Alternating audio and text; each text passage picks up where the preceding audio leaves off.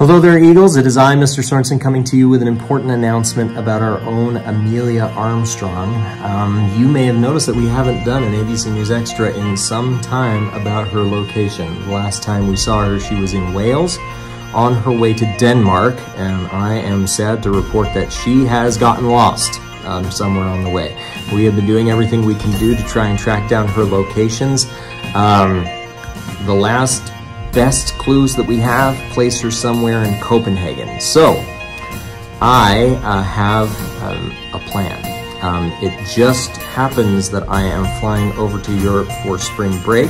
Um, I've got my travel itinerary right here, and so my plan is to be in Copenhagen over spring break.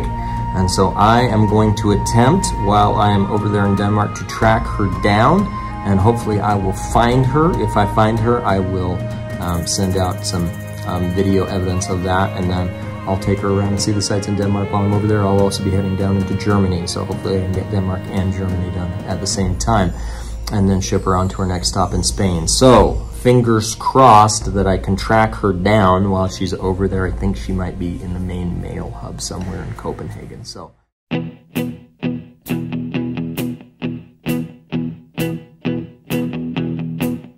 When I wake up well, I know I'm gonna be, I'm gonna be the man who wakes up next to you.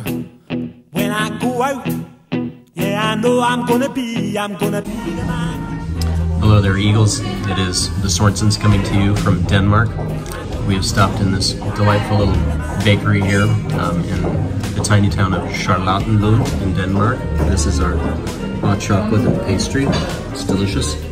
Um, we have uh, been trying to track down Amelia, and we think that there's a small post office in this town and that she might be there. So we are questing for her now, and we'll keep you updated.